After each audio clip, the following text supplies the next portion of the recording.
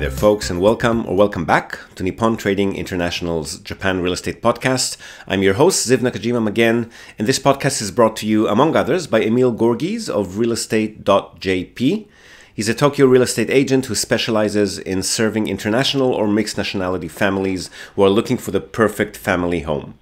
So Emil's an Australian. He's been living here in Japan for over two decades now, and for about half of that time, he's been buying, selling, and managing real estate properties in Tokyo on behalf of his own family and a great many happy clients. And he also acts as a mortgage broker on behalf of his clients. So he's got dedicated loan officers in many of the Japanese mega banks. And if you're a regular listener of the podcast, you probably already know him from our JREP, the Japan Real Estate Experts panel sessions which means that you're already aware of the fact that the man is an absolute fountain of wisdom on all things related to real estate in Japan, and in particular to family homes, the greater Tokyo metropolitan area, and mortgages. And most importantly, he's incredibly generous with his time and advice, which he's more than happy to provide at no cost or commitment to anyone asking. So, if you've been thinking about buying your home in Tokyo, but you've been sitting on the fence for a while, or you just want to have a chat in English with a real expert, drop him a line on sales at realestate.jp. Hit him up today and start exploring your options. All right, so for today's episode, uh, this was meant to be a normal JREP session with Emil, Tracey, and myself in attendance, but Emil was late, so Tracey and I got to talking with the recording function uh, running, of course, and so we talk about Tracey's origin story, if you will, um, how she got the idea for Tokyo Family Stays by catering to visiting friends and family members, which eventually ended up with her running operations and consulting on a bunch of short term rental properties. And that in turn, of course, got us talking about how to profitably and efficiently run that kind of business, the important uh, importance of market research and knowing what your offerings are. And then we went a bit meta and started talking values and belief systems in business, how to attract the right kind of client, um, what it's like working with your spouse, um, and that one's a real deep rabbit hole to go down into. Uh, so that by the time Emil finally joined us, we were talking even deeper topics. So family, happiness in life and in business, um, honesty, transparency, walking your talk, and a whole lot of other um, stuff. So yeah, not an entirely Japan real estate related episode this time around. A bit more woo woo. But nevertheless, I hope you enjoy the conversation, and I'll see you again on the other side. Okay, slightly reduced Japan real estate experts panel today. At least for now, Emil will be joining us, but we got um, Tracey. Do you want to introduce hey. yourself?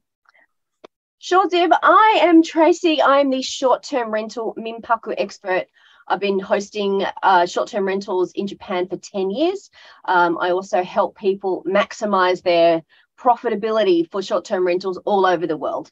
So uh, I don't just uh, talk the talk; I walk the walk. So that's what I do. We were just talking about that. You said you had a nice uh, catchphrase. What was it? Well, you pay me three hundred dollars, and I'll help you make a thousand dollars a month extra. Yeah, yep. yeah. So that's, that's what I, good, you know, uh, that so you can pick my brain for an hour. Prop yeah and i'll i'll i'll help you you know squeeze that extra money out. You know for people with like massive portfolios you know they've got 50 60 properties um, it's really hard to do it. But if you've got like three four five properties and you're finding an extra you know thousand dollars a month in each of them because you put you know because you sort of can squeeze little bits of pieces of your of your business there's mm. level mm. there's levers to pull and knobs to twiddle um, and you know that add, that really adds up so but you've got to be committed it's not passive income um, as short-term rental hosts it's a it's a it's a hospitality business it's not really a, a real estate it's not really a real estate business mm. Mm. But the um, that, that's a good point actually. Do the um, I'll introduce myself later. That, do people actually people that you've serviced that have these assets do they also gain on equity when they resell or refinance like I, am assuming especially out of japan properties do actually gain in value right um i look i don't i i don't do the di- deep dive into the tax code and the you know and how to look at the cash on cash and the, the those sorts of ROIs that those acronyms just like are lost on me. Um, yeah. I really just look at the monthly P&Ls and the things like the monthly uh, sort of the, the comparison prices of what else is on the market nearby and you know where you can twiddle this dial up and and and increase your rates or you know squeeze additional income through a through a, a, different um, uh, income stream or add an income stream add some affiliate work. That's how i tend to work. I'm not really very good at understanding how um, you know how to leverage mortgages and different tax codes and that sort of stuff. I'm that's that frightens me a little bit. I like listening the, to it and the people who do it sound really really clever but i'm thinking the same about you. When you say those extra income streams you're referring to supplementary services that you provide to guests right? Absolutely. So um, you know just this week um, i arranged a, an airport pickup uh, from from the from the airport. Um, I arranged, you know, I arrange babysitting, I arrange, um, you know, additional services, translation services. So, you know, with my particular business, I know what my guests need, um, where they're going to be spending their money anyway. So I just provide a solution so that they spend money with me. And I either provide the service um, and keep all the money, or I outsource that and have a commission system so that uh, someone else does the delivery of the service, but will give me an introduction fee. And they've got the advantage that they a they can book everything, all of these services in English with you, and b that there's somebody actually taking care. You're basically like their uh, concierge, I guess, Perfect, right? Like you're actually you're yeah. making sure it all happens on time and when they need it. Yeah and also i like you know i don't just sort of pick random names these are these are all businesses that i know that i've that i know will deliver the level of service that you know that is good value. Um, yeah. it's not sort of just some random website that someone's found. It's like well no these are these are companies that i know. I know the you know i'm pretty careful about who i work with as well. Like i'm very i you know i want to stick with my values. So um, you know if it's a small business if it's a woman led business i'm all about that. Um, i'm all about small businesses as well um, and you know because that's what my that's what really resonates with my guests as well. They want to see that their money is going to um, you know to a small business. Um, there's just too many big faceless nameless corporations grabbing our money.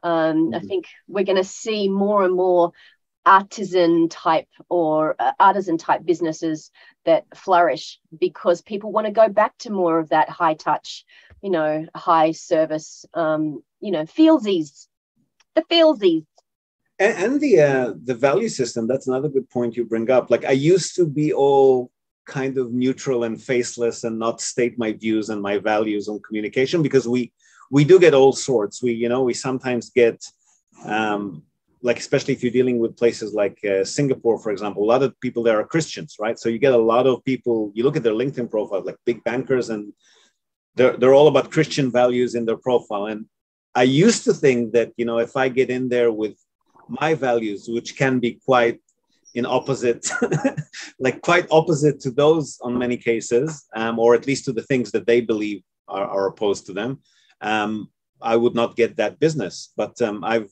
I've stopped doing that. I feel a lot more comfortable just putting myself out there, and you know, I get excited if we have um, um, single females like in your case or if we have uh, lgbtq customers that like i get excited about that kind of th- uh, stuff yeah. you know? So no, i do too. Mm. i'm not i'm not shy putting it out there anymore and you know if it doesn't gel with someone then they're probably not the right customer for us anyway. Exactly and that's that's having the mindset of like well there's enough business out there. Whatever your business is and i know this is getting a little woo woo but you know whatever your business is there is enough there for you to not have to just chase the dollar. But but chase the the deal and and sleep well at night knowing that you've actually done a good job. Um yeah.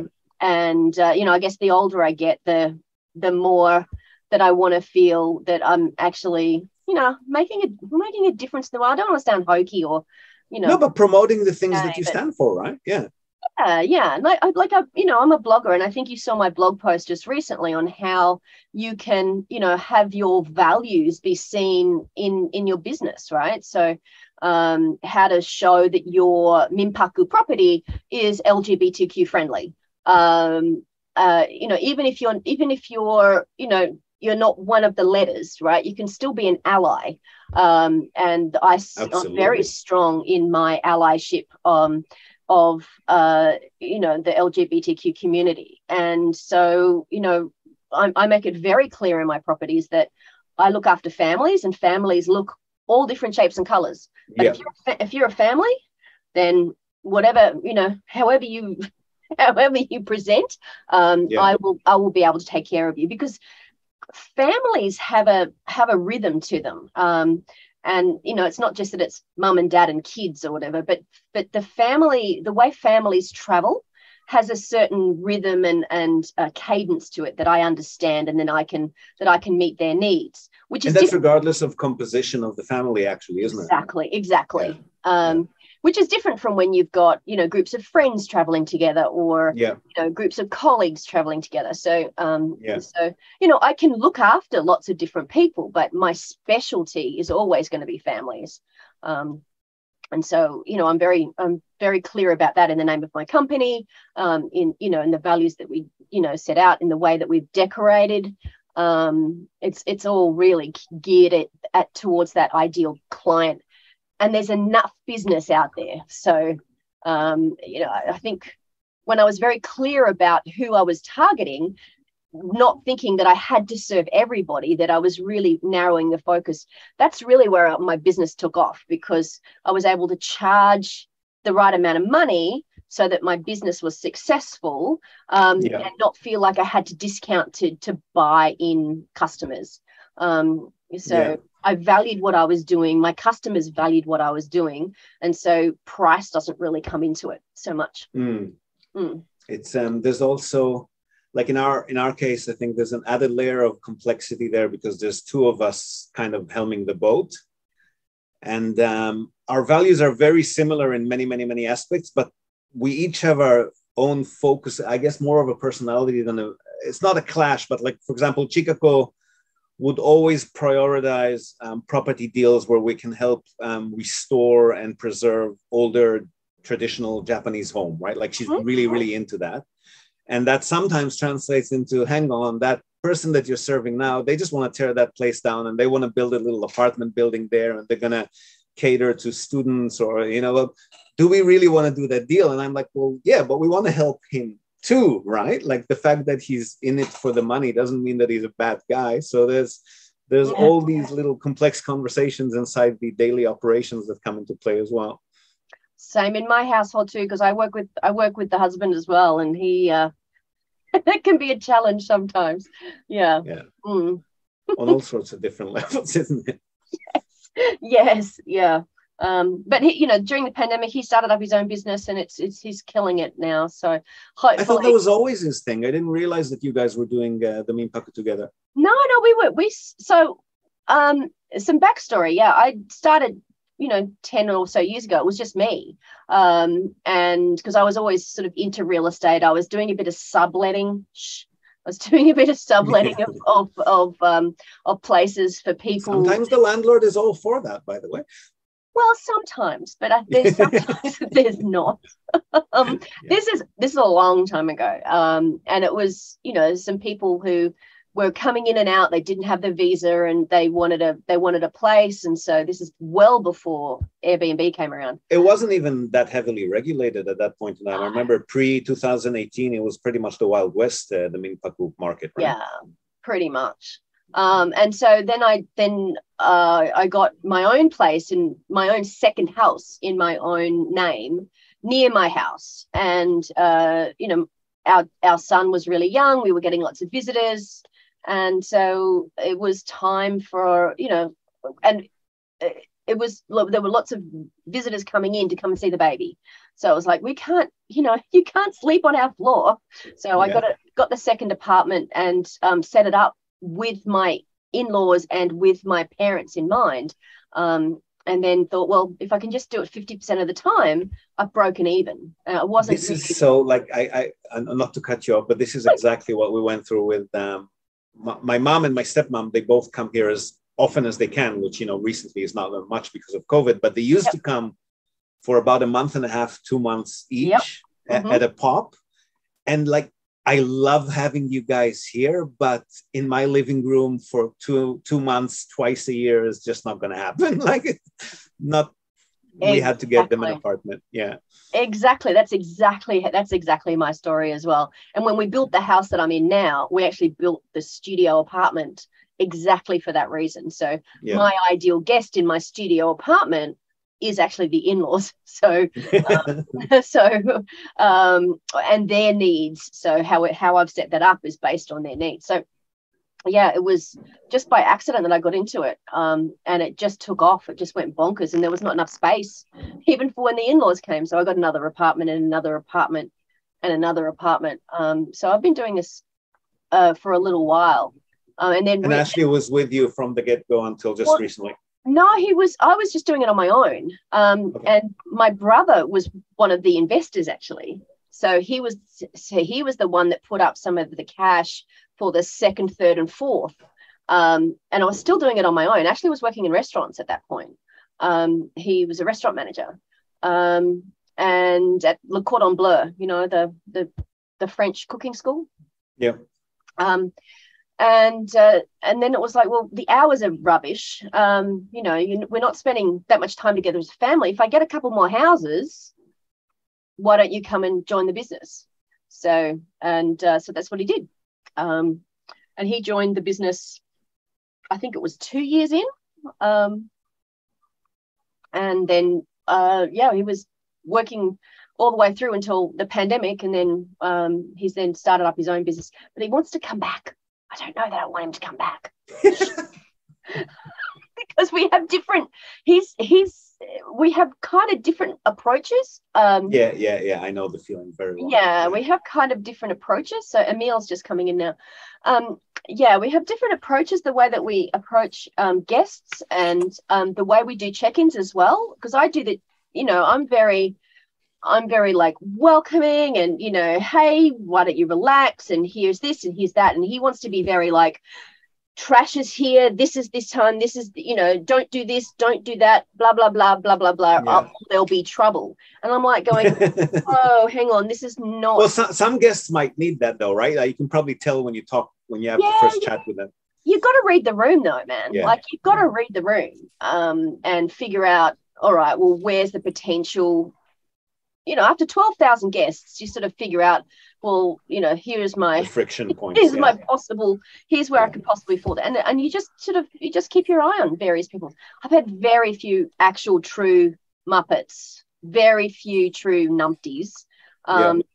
But um, you know, but we've set everything up so that so that they're very well they're very well educated. They're very well contained.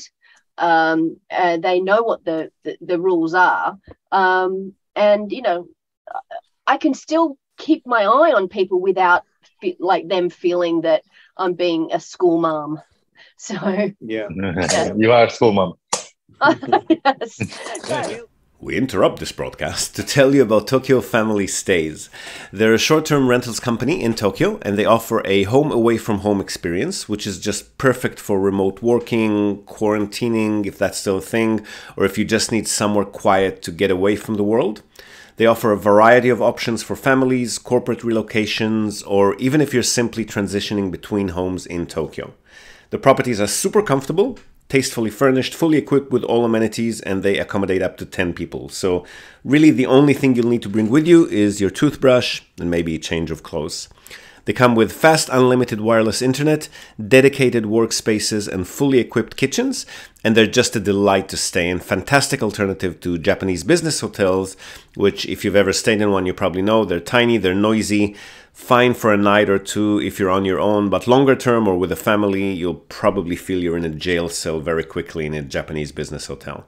So, if you want to give yourself a sense of space and freedom by renting a real home, with comfortable Western beds, including all the necessities like baby bedding, children's toys, high chairs, etc., you definitely want to reach out to Tokyo Family Stays.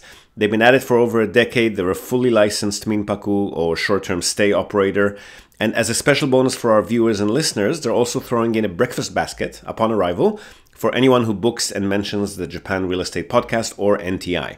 And not only for guests, if you're a property owner, you've got an investment property that you want to tweak for higher profit, or a holiday home that you want to rent out when you're not using it via short term stays, drop them a line today, see how they can help you maximize your property's income.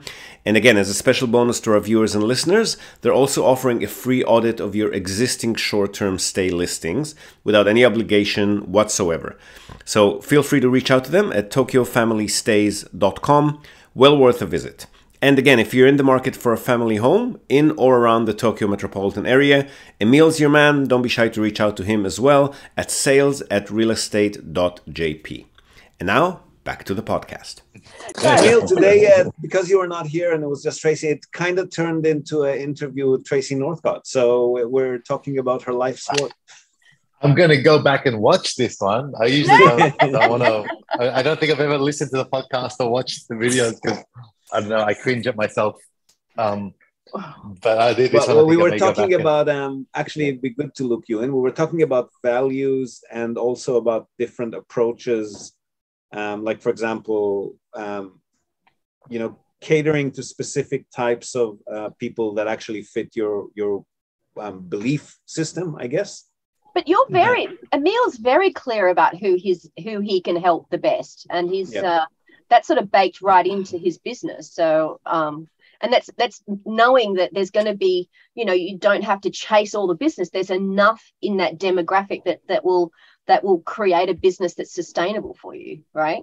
And comfortable for you to work in, right? Doing the things that you love. That's circling back to that again. Mm. Mm. Yeah, definitely. Like so, for, for me as well, like, you know, growing up an immigrant where, you know, finan- always sort of financial hardship and financial struggle. Um, but we had a strong, close knit family and a lovely, you know, uh, you know, with my siblings, with my cousins, my extended family. You know, mummy's one of ten, dad's one of seven. So You're Middle Eastern origins. I know that type of family well. exactly right. So I've got over like fifty first cousins. So my my, it's it's huge, right? And the home was always an open space for us. Um, like for my dad, always like you know guests come to our house um, because that's where everything happens. That's where the community is is built and the long term relationships are built, and that that's happiness and that's joy. Um, and that's why you know uh, Tracey, you've been to my Christmas party, right? Um, it's it's it's absurd. Um, it's just okay. It's open house for anyone to sort of just come and and enjoy it, and it's quite joyful and it's just fun, and there's no no strings attached right? You just come and enjoy and eat. And I, so for me, having a home, a place to be able to raise your family and build your community and families for, for long term happiness, and also for, fin- for family stability, because financial security, you know, growing up an immigrant without financial security, you know, it's, it's, it's kind of scary. Then when you finally do have it, it's such a relief um, that you can enjoy life more, enjoy the family more, mm. and your friends more. And I and so that's why people with my people with my oh, hold on, speaking of uh, because where are you? Where are you? Hi. Uh, it's on his father background. Where yeah, that's where yeah, that's one of them. Hey, okay. He's, he's trying to cut one of his, uh, get eat one of his uh, uh Halloween candy. yeah, so we put it in your eyeball. oh yeah, happy Halloween! Totally forgot happy about Halloween that. for the other day. Yeah, Did you get up to anything Thank exciting? You. He can't hear you. Uh, uh, he can't bite it. Well, I, am on the phone right now, so uh, no, get not right now. I'm on the phone. You go, I'm on the phone. I told you. Get the scissors. I told you. I'm not going to open it now. Right, think this is. but it's, just, it's, we are, know where to cut. on the phone. It is. It is really nice to actually have a business that sustains you, but also feeds your soul as well. Again, without, I, I guess, for so many years, I was like you know in my 20s and 30s i was trying to be this like really cool business person you know all the but uh, the, the older i get the more in touch with um you know heart-centered businesses knowing that they can be profitable that you can build something that is that that brings you joy um, and it doesn't have to be soulless and you don't have to be ripping people off. You're um, and you you're also building wealth for your own family. I think you can have it all like that. And the and people that don't believe that i just don't tend to hang around with. And i think our group here i think we all share those values as well. We just have tended to you know you tend to find your tend to find your tribe or you know got to be careful saying that but you got to you do find you the the people who do share those sort of business values as well Mm. Yeah, there's maturity involved too, both from a personal perspective and the business perspective. Like for the first few years, when you're struggling to just you know get the business off the ground, you also can't be that picky about I'm only going to work with the customers who fit my values and that I'm comfortable with. But as the business grows and you grow, it becomes a lot more feasible to do that. Right? Well, you don't know what your values are, and then you know you that, have that's various, a part of it too. You, you know, and also you have various mentors, and you I guess you know the various people that are around you you you you if you listen to your gut and realize well you know that person you know they might be really wealthy but i don't really i don't really gel with their you know yeah. their values in life yeah. um you know it's it is a process of elimination um of uh and attraction of of getting to a point where you know i sleep well for me anyway i sleep well at night um and i've got you know i've built a house in a in in a in a one of the most well traditionally one of the most expensive real estate places in the world. So mm. you know I feel very fortunate. Mm. Yeah, uh, we like so on that about values. Like it's hard. I think sometimes hard to grasp the idea of people that don't. Some people may not have similar values to you, but I think. Hold on, I've got to, I've got to help my son open this. It's like, yeah, this is this is. But you it's, uh, the packaging is terrible. But you um, on no, personal so, level, right? Yeah. Well, even if people don't really match my values, like it, it's hard when it's just it's, it's sometimes just it's a transaction, and so val- almost values aren't so important. Like I get you know some people they want to invest or they're just looking to buy a place, or whatever, and they're not maybe they're it's not such a significant thing for them in their life. That's still fine. Yeah. Right. So I've got to cut this eyeball out for myself.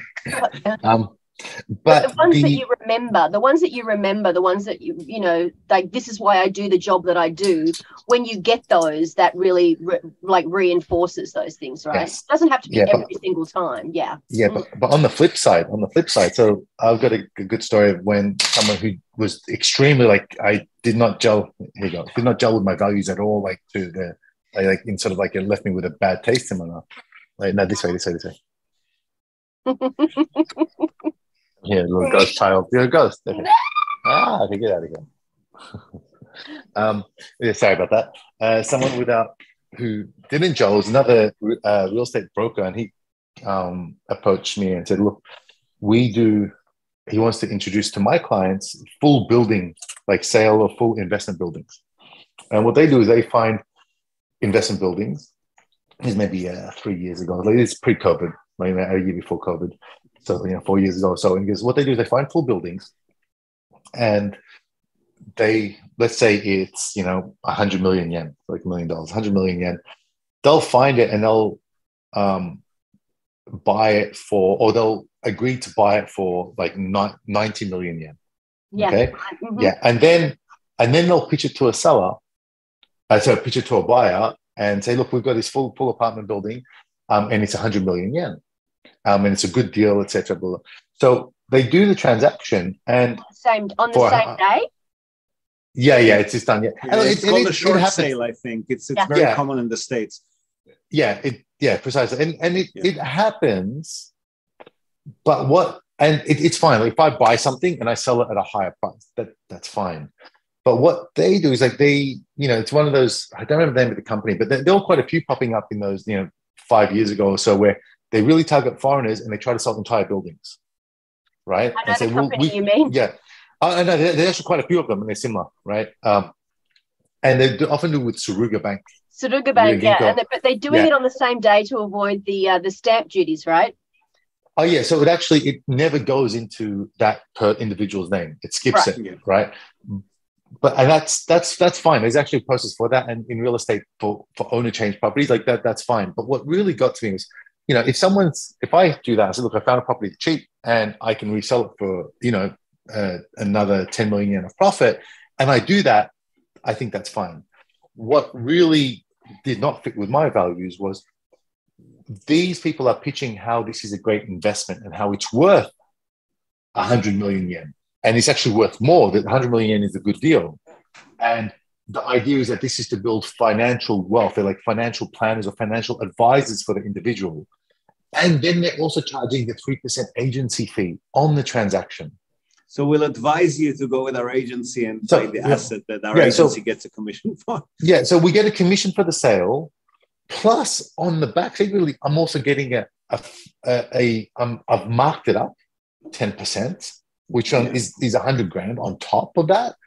And that is, you know, and there's not when, any more capital gain to be had because it's already maxed out. It's yeah, maxed out exactly. at the top of the market, right? It's not going to mm. it's not going to grow in value anymore because it's Japan property, right? Mm. Yeah, but precisely right. So you're you're really like, but they they're trying to pitch it as this is a good financial investment, and they're sitting down as though they're like your financial advisor and your financial strategist, and but it's not a, a, they're not acting as a like in a as a fiduciary and they have dealing. they're double dealing yeah they're double, yeah and it's so it's at the pure detriment to the client we were talking about right? that earlier too is like stay in your lane like you're not a financial advisor you're a real estate company you're doing a short sale you're making a profit it's great but don't pass it off as life-changing advice from a yeah. trusted financial advisor right that's what really got me. When they're yeah. pitching themselves as a trusted financial planner and like okay yeah no these guys have their best interest at heart. No yeah, like they, have, they, have, they, have, they, have, they have my best interest at heart. they don't. They, they like if you look when i sell a property i sell and i'm very we make the 3% commission. That's our cut. That's what we're making for this. But it's clear. It's clear and and that's but uh, the numbers in terms of the loan the mortgage like this is a good deal and the reason I got into this was because I was pitching it even before I was an agent. I was telling my friends, this is such a great opportunity. Loans, like it's, you should own your own home in Japan. It makes complete sense. It's how you build financial wealth and financial freedom um, and wealth for your family is because paying rent is, is lost completely. Interest rates are so low, buy a place. And so it's genuine, but I can't, I, I, like, I spoke with this guy. I was like, that's just that's terrible. Like I can't tell someone this is a good deal. This is how your family's going to get wealth. Would I know I'm taking the three percent, which you know about, but then an extra, you know, ten percent, which you don't know about, directly from you, because that's entirely your value. Yeah, the, right? like, the lack of transparency is pretty shady. Mm. Well, yeah, and the, yeah, and, and, presenting it as though it's financial advice. Mm. No, um, I get it. I get it. Yeah, mm-hmm. I, I, couldn't. Yeah, so that that that didn't gel my values at all. I was like, I, I left that with our, the boss of that agency after that sort of interaction. I go, I'm I'm not introducing him to any of my clients. Like my clients, like they they come to my Christmas party. I get when you start going doing so many houses with you know a family and, and their children, and they drive in the car from house to house to house for one, two, three months. You're doing this, you get to know you get to, to know them quite well, and so yeah, hey, I've got a Christmas party. Come, you know, uh, Tracey, when you came to my Christmas party, probably I think quite a handful of them had bought houses from me as well. Um, the, the people that were there, and I can't have them come to my home, and I know yeah, in my mind that I've stolen. Yeah, I've, I've, taken. Yeah, like that's not that's not the happiness and joy I want on Christmas. Mm. Yeah. Um, no, so yeah, so that's my take right. on the value, the classic values. Um, but when we, you know, I think yeah, when we just um, yeah, as we get older, we present our values and just the people that don't align, well, there's less of them and there's more mm. circulation of people that do align mm-hmm. and their yeah, friends absolutely. and their their references. Mm-hmm. Yeah. So. Yeah. And look in my look in my business as well. Like I the, the people that sustain my business are that are the guests that come back again and again because they, you know, I've been very clear on the transaction beforehand. This is my house, right? You'll get this, this, and this, and this. When you open the door, it's what you see on the on internet is what I'm selling. So I, I've been very transparent about what's inside. I'm not pretending it's some luxury apartment when it's a it's a family home and that's what I'm selling. And those and that's that's what they're buying though. So and um, because I see I see the lifetime value of that customer, you know, I you know I don't just look at the the how much I can squeeze out of that like what today I look at how much that that customer is going to be worth to me over time, um, and still make it very and still make it a, a profitable business. It is possible to have both, um, and you know, just I had these guests who were in this week. Um, a wonderful, a wonderful family, like a, a blended family, two mums, four kids, and um, you know, uh, and you know, I was able to provide them a safe place where they could be a family in the in in Tokyo. You know, no sort of funny looks, no raised eyebrows that they were a same-sex couple. And that really and I and I said to them, you your your family is one of the reasons that I do this. I provide you a, a safe place to enjoy Tokyo and I give you all the tools to enjoy that. Um, you've gone away happy. You'll come back again next year. So we're we've all won, really. Mm. And they, you know, and they and I didn't need to discount to do that. Yeah, so I, I love doing that. Like, I mean, in our perspective, there's not so much personal touch like when you're actually welcoming a guest into a house, but um, just to show them the understanding, you know, like we have a, a we we have a, a, trans client, so we've been obviously talking to each other um, by, by their chosen pronoun. But then when you're actually doing the transaction, their official documents might say something else, so you have to apologize why you have to, you know, just to show the understanding and also in our internal Slack channels, every time we get a LGBTQ customer, there's like, yeah, like little party poppers and stuff. And at some point, I'm just, I'm not mm. shy to show that anymore. And I was saying before you joined us, Emil, like the, um, the Christian, hardcore Christian clients that we also have a fair few of, um, they'll either stay with us or not when we, when we do our thing, you know, we, we don't, we're not aiming to please everyone. We are who we are. Mm-hmm. Yeah. And, and I'm also glad that for the most part, people are, you know, just like humanity is pretty good.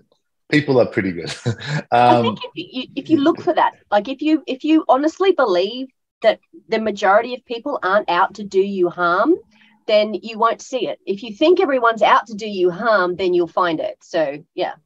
Correct. Yeah. Maybe it's also my perspective. Yeah. Mm. Okay, that's a, good note to uh, end on for me anyway. All right, so there you have it. Not your typical Japan real estate podcast episode, but a whole lot of fun, or at least it was a lot of fun for us. Now, before we go, we're also, as always, going to tell you and also link to our other sponsor's website. That's Hiroshi Shimizu, immigration lawyer and administrative scrivener.